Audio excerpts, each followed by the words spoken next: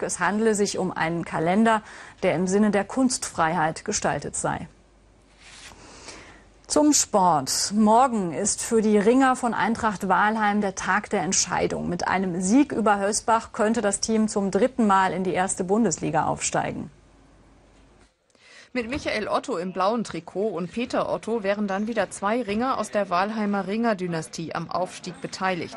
Ihre Väter, Dieter Rechts und Siegfried Otto, waren bereits beim ersten Aufstieg 1979 dabei.